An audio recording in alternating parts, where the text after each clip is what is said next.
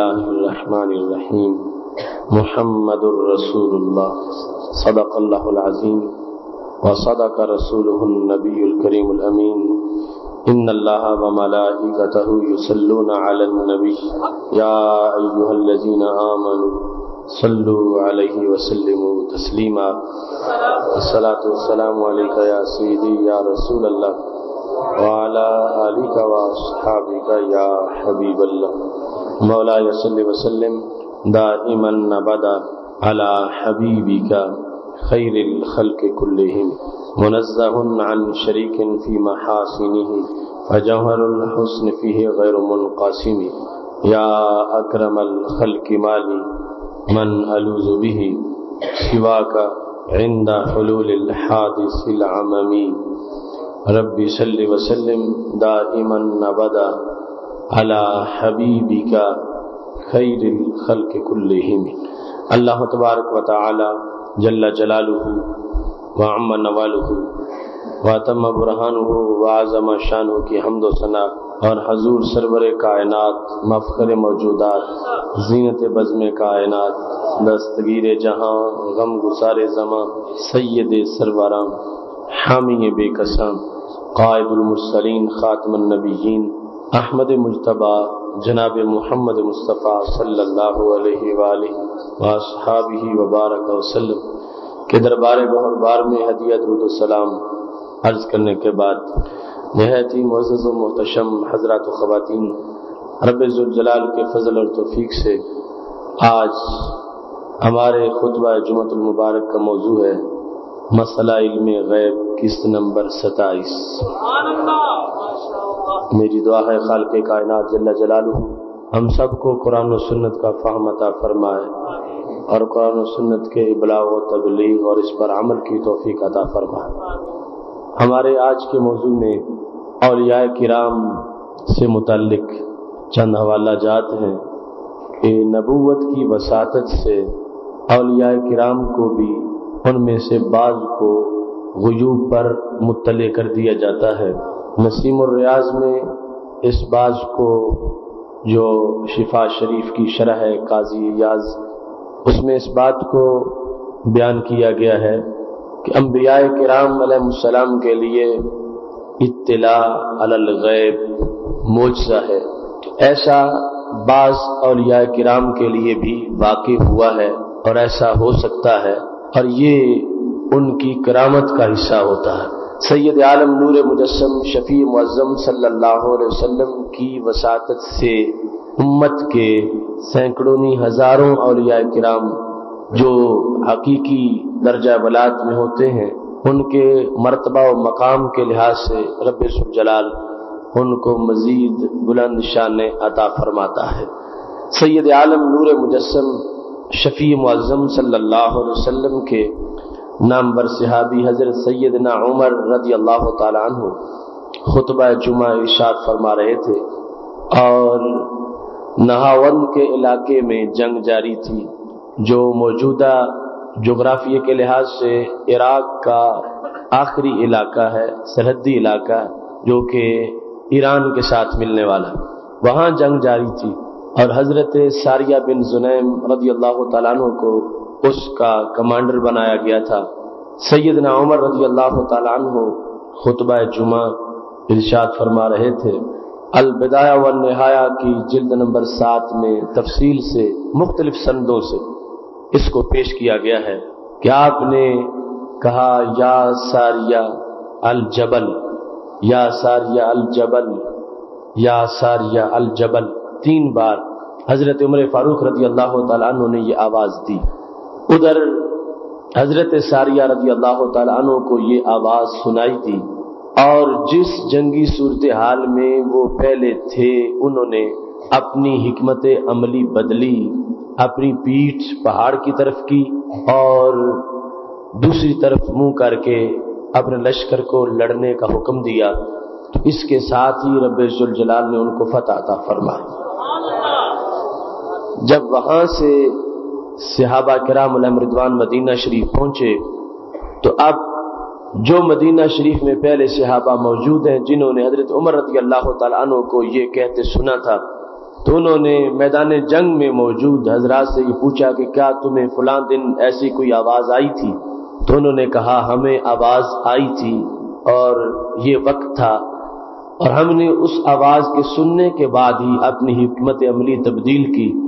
और रब्बुल जलाल ने हमें फतह था फरमाया। इबन कसीर ने जो कि दूसरे कैंप के नज़दीक भी एक मोतबर, मुस्तनद मुहदस और मुफसर हैं, उन्होंने इस सनद को जयद करार दिया कि इस असर के जो रावी हैं, हज़रत उमर रदी अल्लाह तु के अहद में ऐसा हुआ, जिन लोगों ने रिवायत किया, संदे सही से वो बात बात वालों तक पहुँची, और उसमें कोई रावी भी कमज़ोर नहीं है। जयद सनद के साथ इबन कसीर ने इसको रवायत करके और उसके सैयद सनद के जयद होने का साथ ज़िक्र भी किया, इस बात को लिखा। तो ये हज़रत फारूक आज़म रज़ी अल्लाह तु सैद आलम नूर मुजस्म शफी अलैहि वसल्लम की तरबियत के परबुरदा है। रसूल अल्लाह वसल्लम के फैज याफ्ता है। और नबी अकरम सल्लल्लाहु अलैहि वसल्लम के, की दरसगाह के फारग तहसीन है तो उनको खाल के कायनात जल्ला जलालू ने ऐसी रोशनी और बिनाई अता फरमाई है कि उन्होंने दूर दराज मकाम पर जो सूरत हाल मुस्लिम उम्मा के लिए खराब हो चुकी थी, जिससे फौज को नुकसान हो सकता था, हज़रत फारूक आज़म रज़ी अल्लाह तु ने उसे महसूस कर लिया और आपने रहनुमाई की और रब जलाल की तोफीक से आपकी आवाज़ हज़ारों मील दूर पहुँची और वहाँ तक असर हुआ। तो ये है कि रिसालत के वास्ते से रब जलाल वलायत वालों को भी बाज मकाम पर ऐसी रोशनी अता फरमा देता है। क्योंकि हदीस कुदसी में है कि खाल के कायनात फरमाता है, जब मेरा बंदा मेरा कुर्ब इख्तियार करता है, कौन तो समाहुल्लादी यसमो भी मैं उसके कान बनता हूँ जिनसे वो सुनता है। वबा सराहुल्लादी युब सिरो भी मैं उसकी आँख बनता हूँ जिससे वो देखता है। उनके हाथ बन जाता हूँ जिनसे वो पकड़ता है। तो इस बुनियाद पर रब जलाल की कुदरत का ये कमाल है। इस बंदे का कमाल ये है कि इसने अपनी शावत को खत्म किया और जू जू शहावत की खिलाफ वर्जी से इस पे नूर आता गया। तो फिर मलाइका से भी बाज मकामात पर इसकी एहसास को तेज़ी मिल जाती है। ये वलायत का वो नूर है, जिसकी वजह से रब जलाल की कुदरत इनके कानों में होती है और इनकी आँखों में होती है। और वो कुछ सुनते हैं और वो कुछ देखते हैं, जो आम लोगों के बस की बात नहीं होती। और उनसे रब जलाल कहीं ज़्यादा इनको कुदरत और ताकत अता फरमा देता है। हज़रत सैदना फारूक आज़म रदी के इस को देखकर, और बिलखसूस हज़रत सैदना सिद्दीक अकबर रदी अल्लाह तु का जब विशाल का वक़्त करीब था तारीख उलखलफा में इमाम सयूती रहमत ने लिखा कि हज़रत सैदना सिद्दीक अकबर रदी अल्लाह तु आप हज़रत आशा सिद्दीका रदी अल्लाह तहा अपनी बेटी को वसीयत करने लगे और कहने लगे, ये जो माल है, ये आज मेरा नहीं, मेरे बोरासा का है। यानी अपनी दुनिया से जाने का इतना यकीन हो गया। कहने लगे, मैं जा रहा हूँ और ये माल मेरा नहीं, अब मेरे बोरासा का है। तो आयशा, तुम भाइयों में और बहनों में इसको अच्छी तरह तकसीम करना जो शरी तकाजा है उसके मुताबिक। तो जिस वक्त लफज आपने अखावात का बोला, जो जमा का लफज है कि हमशीर गान में, भाइयों में और हमशीर गान में इसको वरासत के उसूल के मुताबिक तकसीम कर देना हज़रत आशा सिद्दीका रदी अल्लाह तला कहने लगी इन नमाहिया अस्मा फमन लुफरा, आप जमा का लफज इस्तेमाल कर रहे हो, मेरी तो सिर्फ़ एक ही बहन है, और उनका नाम असमा है। उनके अलावा मेरी कोई बहन नहीं है। तो किसके बारे में आप फरमा रहे हैं कि बहनों के दरमियान इसको सही तकसीम करना? तो हज़रत सिद्दीक अकबर रदी अल्लाह तु का जुमला है, फरमाया, जू बतनी इबनत खारिजा अराहा जारियतन। फरमाया, मेरी जौजा इबनत खारजा वो इस वक्त उम्मीद से है। मैं दुनिया से जा रहा हूँ। आयशा सिद्दीका, मैंने अपने घर, बेटी की विलादत को देख लिया है। तो मेरे बाद मेरे घर में बेटी पैदा होगी, जो मेरी बेटी होगी, तुम्हारी हमशीरा होगी। तो इस लिहाज से मैं ये कह रहा हूँ कि हमशीर गान में ये वरासत के असूलों के मुताबिक इसको तकसीम करना। सैयद आलम नूर मुजस्म शफी मुआजम सल्लल्लाहु अलैहि वसल्लम की तरबियत और सरकार की सोहबत में फैज पाने वाले हज़रत सैदना सिद्दीक अकबर रदी अल्लाह तहो बगैर किसी मशीन के वास्ते से और सबब से खबर दे रहे हैं माफिर रहम की कि वो क्या है। और हज़रत आशा सिद्दीका रदी अल्लाह तहा कहती हैं अब्बा जी के विशाल के बाद चंद दिन जब विलादत हुई तो वो बेटी थी, जिनका नाम हमने उम्म कुलसूम रखा। तो ये निगाह है वलियों की भी खाल के कायलात जल्ला जलालहू अपनी तरफ़ से ऐसा नूर अता फरमा देता है, और बाज मकामात पर इतनी रोशनी हो जाती है कि अताई तौर पर, मगर ये अता डायरेक्ट नहीं होती, नबूवत के वसीले से होती है, और नबूत के वास्ते से होती है, और रबुल इन गैर अंबिया को भी अपनी तरफ़ से बाज उलूम गैब का हिस्सा अता फरमा देता है। हज़रत सैदना सिद्दीक अकबर रदी अल्लाह तु और हज़रत सैदना फारूक आज़म रदी अल्लाह तु अल इसाबा और उसदुलगाबा, जो सिहाबा के अहवाल की किताबें हैं, उनमें अगर देखा जाए तो ऐसे दर्जनों सैकड़ों सियाबा कराम रिजवान हैं, जिनसे ऐसी चीज़ों का वकू हुआ है। फिर ताबीन है, तबे ताबीन है और बाद वाले हजरात हैं। रबुल ने इनको ऐसी इफादियत दी और कुछ लोग ऐसे हैं कि जिन्होंने बरह रास्त सैद आलम नूर मुजस्म शफी अलैहि वसल्लम से ये चीज़ें पढ़ी, जिनमें बतौर खास हज़रत हुजाफा बिन जमान रदी अल्लाह तु है, जिनको साहिब सिर रसूल सलाम कहा जाता है। उनका लकब है कि ये नबी सलाम के भेद इनके पास है। सरकार ने असरार की बातें इन्हें बताई है, वो भेद इनके पास है। और वो एक पूरा शोबा था। मुनाफिकीन के बारे में खबरें कि जो मुनाफिक है, उसका पता रसूल अल्लाह सल्लल्लाहु अलैहि वसल्लम ने हज़रत हुजैफा रदी अल्लाह तु को दिया। इस वास्ते नसीम रियाज में है कि हज़रत उम्र फारूक रदी अल्लाह तु अपने हुकूमत में हज़रत हुजैफा बिन जमान रदी अल्लाह तु के मदीना शरीफ में होते हुए अगर कोई बंदा फौत हो जाता था, इजा लम यश हद हुजैफा अगर उस बंदे का जनाजा पढ़ने के लिए हज़रत हुजैफा नहीं जाते थे तो हज़रत उमर भी नहीं जाते थे। अगर हुजैफा जाए तो पता चलेगा कि ये बंदा ठीक है। और अगर हुजैफा न जाए तो फिर सरकार ने बताया है कि फुला बंदा मुनाफिक है। और मुनाफकत की इतला सैयद आलम नूर मुजस्म शफी मुजम अलैहि ने खास तौर पर हज़रत हुजैफा बिन यमान रदी अल्लाह तु को दे रखी है।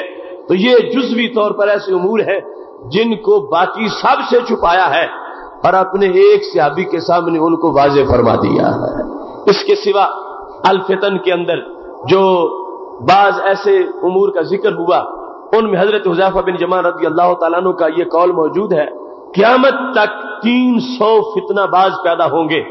यानी जो फितने की बुनियाद रखेंगे, गंदे अकीदे लोगों में राज करेंगे, गंदी जमातें बनाएँगे, या नबूवत का ऐलान कर देंगे वो अलहदा जो नबूवत का ऐलान करने वाले हैं, सरकार ने फरमाया कि वो सलासून तीस होंगे, तीस दज्जाल पैदा होंगे और तीन सौ वो है कि जो नबूवत का ऐलान किए बगैर किसी फितने की बुनियाद रखेंगे।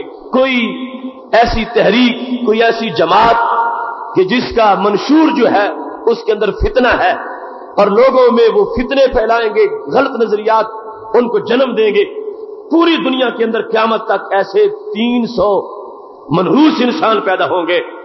हज़रत उजाफा बिन जमान रदी अल्लाह तला कहते हैं, लो शे तो अगर मैं चाहूँ, अन उसम हम बे असमाए हिम व असमाए आबाए हिम व मसाकिन हिम अगर मैं चाहूँ तो क्यामत तक जो तीन सौ बड़े बड़े फितनों के बानी होंगे, मैं उनके नाम भी बता सकता हूँ, उनके वालदेन के नाम भी बता सकता हूँ उनके रिहायश की जगह भी बता सकता। और उसी में हज़रत अली रदी अल्लाह तु का यह कौल है, फरमाने लगे रब्बुल जलाल के फजल से मैं भी जानता हूँ, वो तीन सौ कौन है कि जिनके बारे में सैयद आलम नूर मुजस्म शफी सल्लल्लाहु अलैहि ने भी खबर दी है, और वो गिनती क्यामत तक पूरी होगी, क्यामत तक ऐसे लोग जो बड़े फितनों के दाई होंगे, बड़े फितनों के बानी होंगे, और बड़े फितनों के हामी होंगे उनकी ये तादाद होगी। और फरमाया, मैं जानता हूँ, इस अंदाज में लौशे तो शमई तो अगर मैं चाहूँ तो मैं नाम ले लूँ। सिर्फ़ उनके नाम नहीं, फरमाया सा कहा व ना कहा जो उनके चमचे चेले होंगे, मैं वो भी जानता हूँ। साहिब को भी जानता हूँ, नायक को भी जानता हूँ। शायद लोग तौर पर उस बंदे को कहते हैं कि जो जानवर को पीछे से आगे हाँक रहा हो, हाथ में छड़ी हो और चला रहा हो और नायक उसको कहते हैं, काफ दो नुकतिया के साथ, नायक ऐन के साथ, कि जो आवाज़ दे किसी जानवर को चलाने के लिए, जो मुख्तलिफ़ जानवरों को चलाने के लिए मुख्तलिफ़ आवाज़ें होती हैं, बोला जाता है, जानवर उससे होशियार होता है, चलता है। तो हज़रत अली रज़ी अल्लाह तला फरमाने लगे, मैं सिर्फ़ वो तीन सौ ही नहीं जानता, मैं उनके हवारियों को भी जानता हूँ, जो उनके साथ होंगे, मैं उनको भी जानने वाला हूँ। और ये हज़रत अली मुर्तजा रदी अल्लाह तु है कि सैयद आलम नूर मुजस्म शफी मुजम अलैहि की तरबियत का इतना असर है। एक दिन जब पूरा इल्म का जोश था फरमा सलूनी माशे तुम, जिसने जो पूछना है मुझसे पूछ लो। मैं जवाब देने के लिए तैयार हूँ। इस वास्ते कि मदीना तो इल्म के बाद है, और जिस मदीना के दरवाजे का इतना इल्म हो, खुद उस शहर इल्म का इल्म कितना ज़्यादा होगा। बुखारी शरीफ में है। हज़रत जाबिर बिन अब्दुल्ला रदी अल्लाह तु ये अपने वाले साहब के बारे में बयान करते हैं। कहते हैं, लम्मा हादारा उहद, जब जंगे उहद का दिन आ गया। एन एक रात पहले सुबह लड़ाई होनी थी। पहली रात को, दानी अबी मिनल रात को मेरे अब्बा जी ने मुझे बुला लिया। हज़रत जाबिर बिन अब्दुल्ला रदी अल्लाह तहोमा ये जिनके बारे में आपने वो खजूरों वाली हदीस सुनी हुई है कि कर्जे बहुत ज़्यादा थे और खजूरें थोड़ी थी और नबी सलाम ने दुआ मांगी थी तो सारे कर्जे उतर गए थे, सारी खजूरें बच गई थी। वो हज़रत जाबिर बिन अब्दुल्ला रज़ी अल्लाह तु कहते हैं, उहद की लड़ाई का जब वक्त आ गया, रात को सैयद आलम नूर मुजस्म शफी मुजम सल्लम के सियाबा की तैयारी का अंदाज देखो। यानी ये नहीं है कि सुबह जाना है और जान बचानी है, ये रात को तय कर चुके हैं कि सुबह जाना है और वापस नहीं आना। हज़रत जाबिर कहते हैं कि मुझे अब्बा जी ने जब बुलाया, रात को कहने लगे, माँ अरानी इल्ला मकतूलन फ़ी अब वाले मैं युक्त बिन असहाबिन नबी सल्लल्लाहु अलैहि वसल्लम। पर सुबह उहद की लड़ाई है तो क्या सूरत हाल है? कहने लगे, मुझे यकीन हो गया है कि मैं कल शहीद हो जाऊँगा। माँ अरानी इल्ला मकतूलन। पहले नंबर पर यह खबर है कि जंग होगी, क्योंकि यह भी तो इतमाल है ना कि सुबह हो या ना हो। काफिर चले जाएँ या जंग कुछ दिन के लिए वखर हो जाए। तो कहने लगे, सुबह जंग होगी और सुबह मैं शहीद हो जाऊँगा। माँ उरानी इल्ला मकतूला। मेरे बारे में मैंने जो कुछ देख लिया है, वो शहादत है और फिर कब शहादत है? और मैं, फ़ी अब वाले मैं युग तलोमिन साहबिन नबी वसल्लम। कल रसूल अल्लाह वसल्लम के जिन से आबा की शहादत होगी, पहला नंबर मेरा होगा। तो तीन खबरें दे दी। हज़रत जाबिर रदी अल्लाह तु ने, जंग से पहली रात को, कि सुबह जंग है और जंग में शाते होंगी और मैं शहीद हो जाऊँगा और मैं पहले नंबर पे शहीद हो जाऊँगा।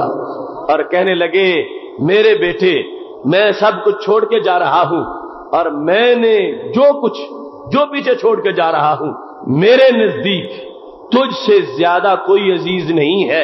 गैरा नफ्स रसूल वसल्लम। सरकार के सिवा सैयद आलम नूर मुजस्म शफी मुजम वसल्लम के बाद सबसे ज़्यादा जिसको मैं अज़ीज़ समझता हूँ वो तुम हो। मेरे महबूब सलाम के बाद तुम मुझे सबसे अज़ीज़ हो। तो मैं दुनिया से जा रहा हूँ, मुझ पर कर्जे हैं। मेरे बेटे तुमने मेरे कर्जे भी उतारने हैं और तुमने अपनी बहनों का भी ख्याल रखना है। हम शीर गान तकरीबन आठ के करीब थी। उनका भी तुमने ख्याल रखना है और कर्जे भी मेरे तुमने उतारने हैं। मैंने तुम्हें पहले खबर दे दी है कि सुबह जो दिन है, वो मेरी ज़िंदगी का आखिरी दिन है और उस दिन के आगाज़ में मेरी शहादत हो जाएगी। और मैंने तुम्हें बता दिया है कि हर चीज़ जो है, हर चीज़ कायनात की। उसके बारे में बंदे के फैसले कुछ नर्म हो सकते हैं और उसके बारे में कुछ शर्तें लगाई जा सकती हैं। मगर एक मेरे वो महबूब हैं, जो तुझसे भी बड़े महबूब हैं। तो मैं इसलिए तुझे बता रहा हूँ कि बाकी जितने भी खसारे हो जाए हो जाए, जब मेरे महबूब की गुलामी में फ़र्क नहीं आना चाहिए। ये था सिहाबा का सबक, यानी आखिरी रात को जो अहद, कि सुबह मेरी शहादत है, और मैंने दुनिया से चले जाना है। तुम मेरे साहबजादे हो, और तुम्हें पता होना चाहिए कि मैं एक आका का गुलाम हूँ, और तुम भी उनके गुलाम हो। वो हमें जान से भी प्यारे हैं। तो ज़िंदगी तुमने यूँ गुजारनी है कि कभी कोई शिकवा, शिकायत का मौका न बने कि मैं कबर में तंग होता रहूँ। तुम्हें महबूब सलाम के साथ वो प्यार करना है जो मैंने पूरी ज़िंदगी उनके साथ प्यार किया है। हज़रत कहते हैं, सुबह हो गई, लम्मा असबहना। जब सुबह हुई, काना अब वाला कतील मिन असहाबिन नबी वसल्लम। तो जब शहादतों का सिलसिला शुरू हुआ सबसे पहले जिन्होंने उस दिन उहद की लड़ाई में जाम शहादत नोश किया, वो हज़रत अब्दुल्ला रदी अल्लाह हज़रत जाबिर अपने वालिद के बारे में ये बयान करते, रात को खबरें दी कि ये कल होने वाला है। अब जिस पैगंबर के गुलामों का ये इल्म हो कि कल के बारे में इतनी इतला वो भी रखते हैं रब जलाल की अता से और किसी मजनू लैला की दास्तान से नहीं पढ़ रहा, सही बुखारी से पढ़ रहा हूँ। सही बुखारी शरीफ में हज़रत जाबिर खुद अपने वालिद साहब से ये रवायत करते हैं। और जो बुखारी की शुरुआत है, उसमें यह बात लिखी हुई है, क्या इसका सबब क्या था? कि हज़रत अब्दुल्ला रदी अल्लाह तला अपने बारे में कहने लगे, हज़रत जाबिर तो रावी है ना? हज़रत अब्दुल्ला की बात है। वो रात को जो बता रहे हैं, अपने बारे में कि कल मैं शहीद हो जाऊँगा। असल में सबब यह था कि एक सिहाबी है, उनका नाम है मुबशिर बिन मुंजिर वो बदर में शहीद हो गए थे। तो मुबशिर बिन मुंजिर, हज़रत मुबशर बिन मुंजिर रज़ी अल्लाह हो जिस वक्त एक रात खाब में हज़रत अब्दुल्ला रज़ी अल्लाह तला को मिले और सूरत हाल इस जंग की पैदा हो चुकी थी, जंग उहद की तो खाब में उन्होंने कहा, अंता कादिमुन अलैना फ़ी हाजिल ए अब्दुल्ला इन दिनों में तुम भी हमारे पास पहुँचने वाले हो। ये हज़रत मुबशर बिन मुंजिर रज़ी अल्लाह तु ने ख्वाब में जिस वक्त हज़रत अब्दुल्ला रज़ी अल्लाह तु को कहा तो वो सीधे नबी सलाम के पास पहुँचे। कहने लगे, या रसूल अल्लाह सल्लल्लाहु अलैहि वसल्लम, मुझे ये ख्वाब आया है, मुबशर बिन मुंजिर जो बदर में शहीद हो गए थे, मुझे मिले हैं और वो मुझे कह रहे थे कि तुम भी हमारे पास आने वाले आने वाले हो। तो महबूब अलैहिस्सलाम ने बरदस्ता कहा हाज ही शहादत ये फिर शहादत है। इस खाब की ताबीर ये है कि ये तुम्हारी शहादत है। सैयद आलम नूर मुजस्म शफी मुजम सल्लल्लाहु अलैहि वसल्लम, के सिहाबी के जो खबर देने का अंदाज था। इससे एक और खबर भी साबित हो गई कि कबर वाले कबरों में जाके बाद वालों से फिर भी बाखबर होते हैं। मुबशर बिन मुनजर, वो हज़रत अब्दुल्ला को मिल रहे हैं ख्वाब में। मुबशर बिन मुनजर का ख्वाब अब ख्वाब नहीं रहा। सरकार के सामने पेश हो गया और सरकार ने तस्दीक कर दी है। ये नहीं कहा कि अब्दुल्ला ख्वाब ख्याल होते हैं। छोड़ दो इसको। सोचो ही नहीं कि क्या होने वाला है। महज ख्याल था। और मैं, नहीं, ये शहादत है। तो फिर नबी सलाम की ज़ुबान से यह बात साबित हुई कि नबी नहीं, नबी के गुलाम भी ख्वाबों में आके रहनुमाई कर सकते हैं। और मुतले होते हैं अहवाल से कि हम चले गए हैं। पीछे क्या होने वाला है? जो बदर में शहीद हो गए हैं बहुत के वाकयात से बाखबर है, और कुफार की तैयारी से बाखबर है, वो जानते हैं कि हम जिस कारवां के पहले मुसाफिर हैं, उसमें पीछे भी मुसाफिर आ रहे हैं। हज़रत मुबशर बिन मुंजिर रज़ी अल्लाह तु जिस वक्त ख्वाब में मिले हैं, नबी अलैहिस्सलाम के सामने ख्वाब पहुँचा है, आपने तस्दीक फरमा दी है, शहादत की खबर दे दी है, और फिर हज़रत अब्दुल्ला का सोजे यकीन, ये है हमारा सबक कि उन लोगों को यकीन कैसा था? वो ऐसे ऐसे अकीदे वाले नहीं थे कि खबर की ताबीर पूछ के फिर कहते कि ये भी ख्याल ही हो सकता है। क्योंकि ख्वाब था, नबी सलाम ने अगरचे बता दिया है, मगर फिर भी ऐसा होगा नहीं। उनका क्या यकीन है? उनको पता है मेरी शहादत होगी। सरकार के कहने पर यकीन हो गया है। और फिर ये अपनी तरफ़ से रोशनी भी आ गई है कि होगी और पहले नंबर पर होगी। ये सारा सिलसिला है। निखतो नूर का ये सारा सिलसिला है। महबूब सलाम के उलूम के फैजान का कि कहाँ तक ये बात पहुँची है? हज़रत अब्दुल्ला रज़ी अल्लाह तु अब अपने बेटे को खबर दे रहे हैं, माँ उरानी इल्ला मकतूला मेरा जो मेरे बारे में फैसला है, सिवाय शहादत के कुछ नहीं। फिर अब वाले मैं युक्तलो मिन साबिन नबी सल्लल्लाहु वसल्लम। मैं सिर्फ़ शहीद ही नहीं हूँगा पहले नंबर पे शहीद होऊँगा। तो हज़रत जाबिर कहते हैं, कल सुबह हुई तो खबर सौ फ़ीसद सच्ची साबित हो चुकी थी। अब इस मकाम पर हज़रत जाबिर रदी अल्लाह तला कहते हैं, क्योंकि जब शहादतें ज़्यादा हो गई तो एक एक कबर में कई कई सहाबी दफन कर दिए गए। तो हज़रत अब्दुल्ला रदी अल्लाह तला के साथ हज़रत अमर बिन जमू अंसारी को दफन कर दिया गया। और ये दोनों आपस में बड़े गहरे दोस्त थे। इसी मुनासबत पर शायद दोनों को इकट्ठा दफन कर दिया गया। हज़रत जाबिर कहते हैं, मुझे इस बारे में तस्वीश रहती थी। कि मेरे वालिद की कबर जुदा होनी चाहिए थी। उनकी कबर में और किसी को क्यों दफन किया गया? कहते, मुझे ये बात हमेशा खटकती थी। बादा शोर। बुखारी शरीफ में है। कहते, छह महीने बाद मैंने कबर उखेड़ ली और मैंने अपने अब्बा जी को वहाँ से निकाला। फाइजा हुआ कल यो में वदात होनैया। लगता था, आज ही दो मिनट पहले कबर में उनको दाखिल किया है। छह महीने कहते गुजर गए। तो ये भी बुखारी शरीफ का बयान है। छह महीने गुजर चुके थे और मैं चाहता था कि वालद मोहतरम की कबर जुदा हो। छह महीने बाद मैंने जिस वक्त कबर से उनको बहर निकाला तो यूँ लगता था बिल्कुल चंद लम्हे पहले इनको सुपुर्द खा किया गया है। सिवाय कानों के उन पर कुछ निशान बने हुए थे। बदन सारा इतना सलामत था, इतना चेहरा तरोताजा था और इस अंदाज में शहीद की ज़िंदगी और उनके पैकर की हिफाजत थी। कहते अगरचे छह महीने गुजर गए थे, मगर फिर भी बदन बिल्कुल तरोताजा मौजूद था। यूँ लगता था हुनैया बिल्कुल। चंद घड़ियाँ भी नहीं, बिल्कुल एक छोटी सी घड़ी, छोटा सा लम्हा गुजरा है कि हमने इनको अभी दफन किया था, अभी कबर से बाहर निकाल लिया है। मोहतशम सामी हजरात, सिहाबा किराम रिदवान को, सैयद आलम नूर मुजस्म शफी अलैहि वसल्लम की मैयत से जो फैज मिला है, उससे जो वो कुछ बताते हैं वो एक मुस्तकिल बाब है। इस से हमने उलूम गैब का एक पूरी किस्त जो है वो इस मौजू से रख दी है। अब वही हज़रत जाबिर रदी अल्लाह तला जब कहते थे, खजूरें थोड़ी है और कर्जे बहुत ज़्यादा है, और क्या होगा? महबूब सलाम ने दुआ मांगी थी, खुद तशरीफ़ ले गए। जाबिर रदी अल्लाह तला ने सारे कर्ज खा बुलाए सारे कर्जे उतारे। मगरब के टाइम मस्जिद में पहुँचे, कहने लगे, या रसूल अल्लाह सल्लल्लाहु अलैहि वसल्लम, कर्जे उतर गए हैं, मगर ढेर में से एक खजूर भी कम नहीं हुई। तो नबी अलैहिस्सलाम ने फरमा अशादो अन्नी रसूलुल्लाह, मैं गवाही देता हूँ, मैं अल्लाह का रसूल हूँ। अबा बकर उमर, जाओ, ये खबर अबू बकर सिद्दीक को भी दो, और ये खबर हज़रत उमर फारूक को भी दो। रज़ी अल्लाह तला दोनों को जाके ये खबर दो कि नबी सलाम गए थे, मेरी मुश्किल हल हो गई है। मेरे गुलामों को पता हो, खबर दो उनको।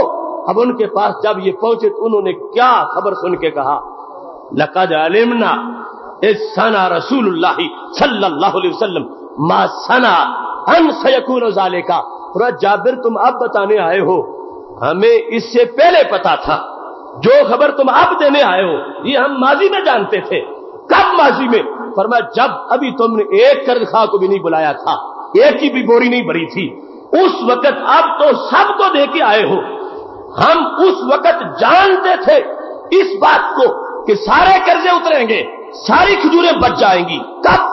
जब ये काम अभी होना था मुस्तकबिल में। हम माजी में जानते थे, अब बेड़े पार हो जाएँगे, खजूरें बच जाएँगी, कर्जे सारे उतर जाएँगे। लकद अलिमना, हमने जाना माजी में। अनसयकून जाले का सीन जिस वक्त मुजारे पे आ जाए तो वैसे मुजारे में अरबी ज़ुबान के अंदर हाल का भी माना होता है, मुस्तकबिल का भी। लेकिन सीन हो तो फिर मुस्तकबिल पक्का हो जाता है। पक्का मुस्तकबिल। और अन अन था असल में। हमने जाना कि मुस्तकबिल के अंदर कुछ वक्त बाद जो कुछ होने वाला था, जाबिर हमने पहले जान लिया। तो ये हज़रत सिद्दीक अकबर और हज़रत फारूक आज़म रज़ी अल्लाह तहो महबूब सलाम की तरबियत से वो फैज पा चुके हैं। इतना नूर इनके पास भी मौजूद है। मामला बाद में होने वाला है। सरकार की नबूवत की वसात से उसके बारे में पहले भी इल्म रखने वाले हैं। मोहतशम शामी हज़रत। हज़रत शाह वली रहमत ने इस सिलसिला में बाकायदा अपनी कुतुब के अंदर बिलखसूस फजूज हरमैन के अंदर ये वजाहतें की है। एक सिहाबी नहीं, सिहाबा के बाद भी अगर कोई शख्स अपने नफ्स की खिलाफ वर्जी करता करता पक्का हो जाता है और ख्वाहिश से आज़ाद हो जाता है, हर वक्त रब्बुल जलाल की रजा को सामने रखता है तो वो माती अलाइशों से पाक होता है। वो दुनिया की गंदगी जो है, इससे जिस वक्त मुनजा हो जाता है तो फिर रब जलाल उसको ये शान देता है, वो फरिश्तों की सफ में शुमार होने लगता है। और उसका आईना इदराक इतना साफ़ हो जाता है कि उसको अपने दिल की तख्ती से मुस्तकबिल की खबरें नज़र आना शुरू हो जाती है। खाल के कायनात की बंदगी में उसके इजन के ताबे रहकर नबूवत के जेर साया उसे ये फैजान मिल जाता है कि जिसकी बुनियाद पर उसके लिए आँखों के सामने से अंधेरे खत्म हो जाते हैं, पर्दे दूर हो जाते हैं। ये है कि सैयद आलम नूर मुजस्म शफी मुआजम सल्लल्लाहु अलैहि वसल्लम ने फरमाया है, लौला अन्न शयातीन यहूमून अला कल्ब बनी आदम ला नाजरू इला मलाकूत समा। फरमाया, अगर शैतानी फंदों के जो पर्दे हैं, शैतानी बस वसात के जो गंदगी है, वो बंदे के दिल पर ना लगे और शैतान बंदे के दिल के गिर्द चक्कर ना लगाए। शैतान दिल तक ना पहुँच सके। शैतान को दिल की धरती से देश निकाला दे दिया जाए और शैतान को हमेशा के लिए अपने दिल से बहर निकाल दिया जाए। अगर ऐसा हो जाए तो क्या होगा? मेरे नबी सलाम फरमाते नाजारू इला मलाकूत समा। फिर फर्श पे बैठकर बंदे की निगाह आसमानों के पार भी देख सकती है। चौदह तबक दिले दे अंदर तंबू वांगन ताने हूँ। जो हज़रत सुल्तान बाहू रहमतुल्लाह जिसकी वजाहत करते हैं, ये शान मिल जाती है अल्लाह के बली को कि जिस वक्त वो ख्वाहिशात का बंदा नहीं होता, अपने नफ्स को मार देता है और नफ्स के जानवर को जबा करके रब्बुल जलाल की बंदगी में मस्त हो जाता है। उस वक्त उसका दिल धुंधला नहीं होता, दिल सुथरा होता है। और नबी सलाम फरमाते हैं, चार दस फुट तो क्या पंद्रह बीस मील तो क्या? नाजारू इला मलाकूत समा। वो आसमान के अंदर जो कुछ होता है, वो भी उनको नज़र आ जाता है। इसलिए, अब देखिए, इस पर बतौर गवाही। एक बात, हज़रत गौस पाक रहमतुल्लाह आपका एक कसीदा है, जिसमें आपने अपने असरार का ज़िक्र किया, जिसको कसीदा गौसिया कहा जाता है। और इसके सिवा हज़रत गौस पाक रहमतुल्लाह के मुख्तलिफ़ कसायद के अशार हैं, जिनमें आपने गैब की खबरें दी। गैब की खबरें नबूवत के जेर साया वली मुस्तकिल नहीं हो सकता। नबूवत के जेर साया और नबूवत अल्लाह की अता से। क्या फरमाते हैं? ये दोनों अशार आज भी जो रोजा पाक के मेन गेट है, हज़रत गौसे पाक रहमतुल्लाह का, ये लिखे हुए हैं और सदियाँ गुजर गई हैं। हर साल, हर महीना हज़रत गौसे पाक की उस दी हुई खबर पर मोहरे सदाकत लगा रहा है। कहने लगे, वलो अलकै तो सिर्री फ़ी बिहारी, लसार अलकुल्ल जवाली। अगर मैं अपना राज समुन्द्र पे डालूं तो समुन्द्र का पानी खुश्क हो जाए। वलो अलकै तो सिर्री फ़ी जिबाली न दुक्कत वक्त फत बैन रमाली। अगर मैं अपना राज पहाड़ों पे डालूं तो पहाड़ रेत बन जाए, यानी रेजा रेजा हो जाए। वलो अलकै तो सिर्री फौका नारिन लखामिदत वंत फत मिन सिर हाली। अगर मैं अपना राज आग पे डालूं तो आग बुझ जाए। भलौल कह तो सिर्री फौका मैतिन, लकाम अब कुदरतिल मौला ताली। अगर मैं अपना राज मुर्दे पे डालूं तो अल्लाह के जन से ज़िंदा हो जाए। बिलातुल्लाह मुल्की तहत हुक्मी वक्ती कबला कलबी का सफाली। फरमा अल्लाह के सारे शहर, मुल्क अल्लाह के है, मुल्क वो खुदा का। हुकूमत उनमें मेरी चलती है। बिलातुल्लाह मुल्की तहत हुक्मी वक्ती कबला कलबी का सफाली। मुझे रब्बे जुल जलाल ने बहुत जल्द बातिन की सफ़ाई दे दी। नज़र तो इला बिलादिल्ला जमन का खरद लतिन हुक्म तिसाली फरमाया, मैं दुनिया के सारे शहरों को यूँ देखता हूँ, जैसे हाथ की हथेली पे राई के दाने को देखा जाता है। ये कसीदा गौसिया जिसको कसीदा खमरिया भी कहा जाता है। और ये औलिया के वजायत का हिस्सा है। इस कसीदे में खास लज्जत है, लताफत है। तो आपने जो कुछ इर्शाद फरमाया इस सूरत हाल पर, दिल की सफ़ाई के लिए तकरीबन तीस साल लगाए। हालाँकि मादरजाद वली है, और उसके बाद भी आपने तरक्की चाही और मजीद कोशिशें की, मजीद कोशिशें की, और यहाँ तक मकाम आ गया। अब आँख उठाते हैं और बिलादुल्ला को देखते हैं, और दूर दूर तक निगाह जाती है। बल्कि यहाँ तक अगर कोई बंदा दर अपनी मजलिस में आ बैठा है तो हर एक के दिल तक निगाह जाती है। कई बार ऐसा हुआ, लोग सवाल लेके आए हैं तो हज़रत गौसे पाक ने उनको सवाल नहीं करने दिया, जवाब पहले दे दिया है। और अगर कोई चेक करने आया है कि ये इल्म शरीयत पढ़ाते हैं और ये साथ ये मार्फत की बातें बताते हैं, एक बहुत बड़ा इमाम आके बैठ गया, हज़रत गौसे पाक के मजमे में फरमाया, तुझे मेरी बात की समझ कैसे आए तुम्हारा तो वज़ू ही नहीं है इस वक्त।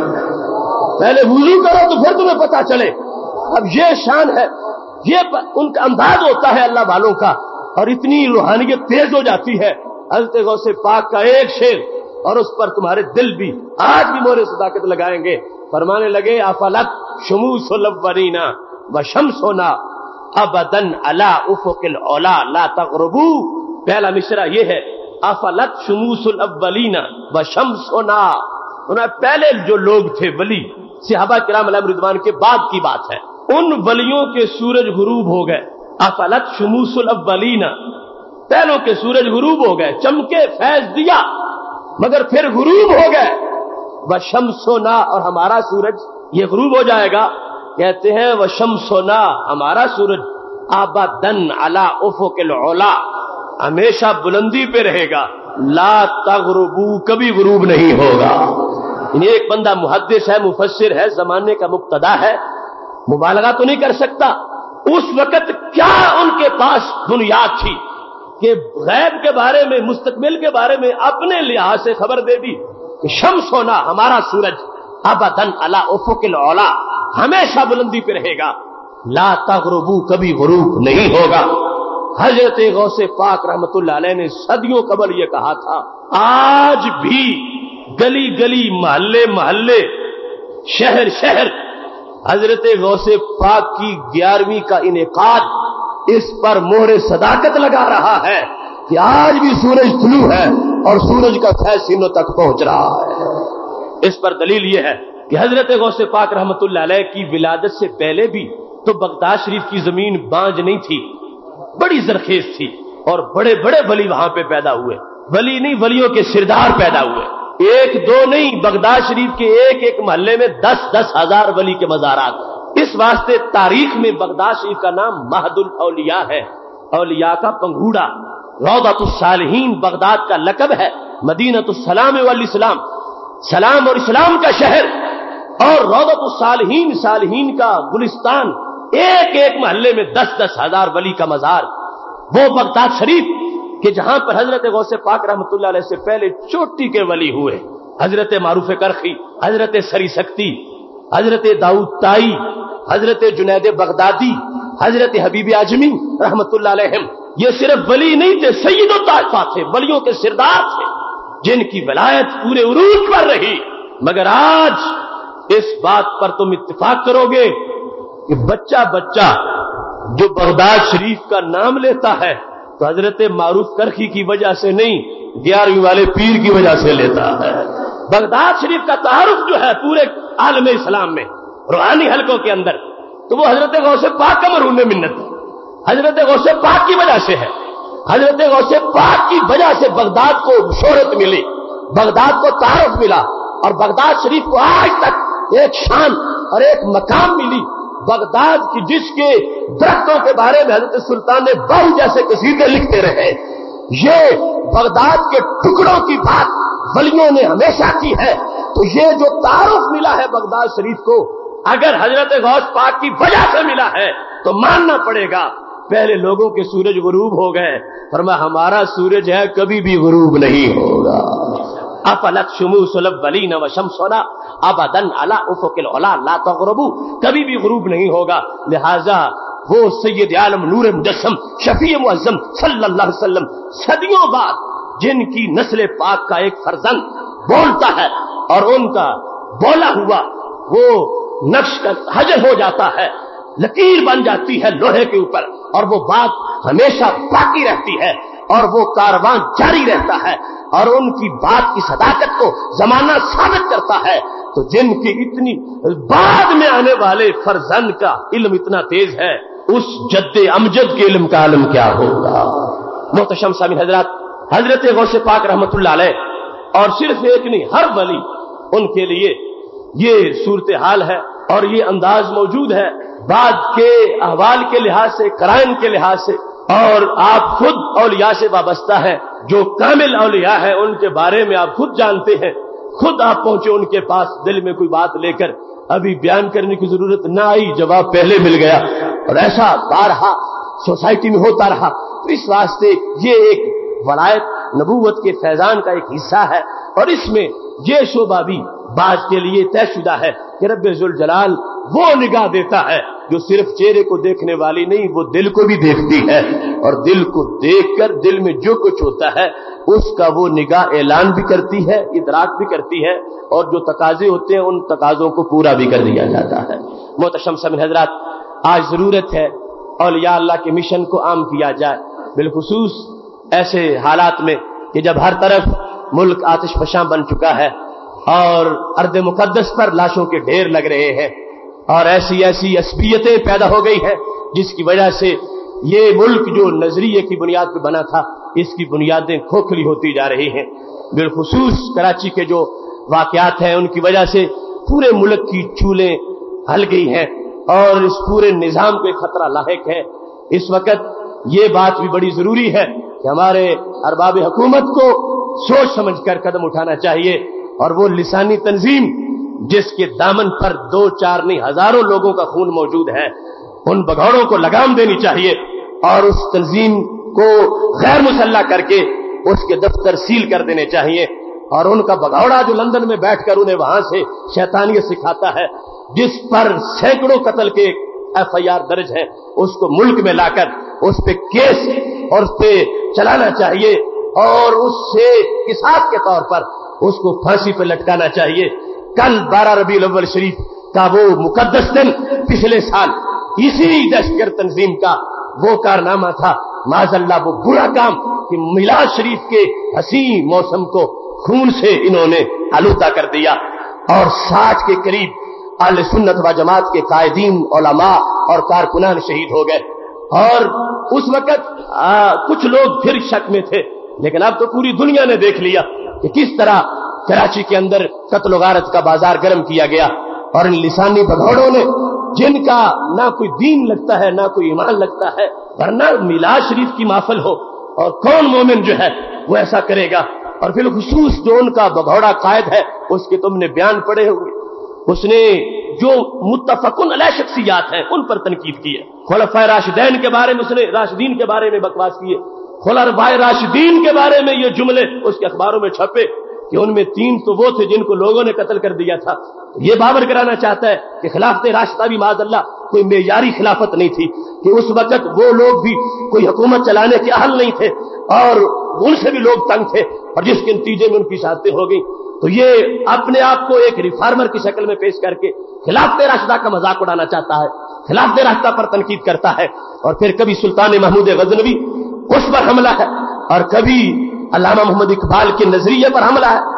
और हिंदुस्तान के साथ मोहब्बत और नज़रिया पाकिस्तान की मुखालफत, हिंदू प्रेस में जाकर नज़रिया पाकिस्तान का व्यापारी बन के नज़रिए के सौदे करने वाला ये शख्स कभी भी हमारे मुल्क का खैर खा नहीं हो सकता। इस वास्ते ये ज़रूरत है। अब जिस वक्त एक बार उनका पर्दा चाक हुआ है और आम प्रेस में और पूरी दुनिया ने देख लिया है, इस वक्त हमारी हुकूमत को होश के नाकल लेने चाहिए और इन लोगों को किरार वाकी सजा देनी चाहिए जो आप ढोंडे अंदाज से माफ़ी माफ़ी का लफ्ज बोल रहे हैं।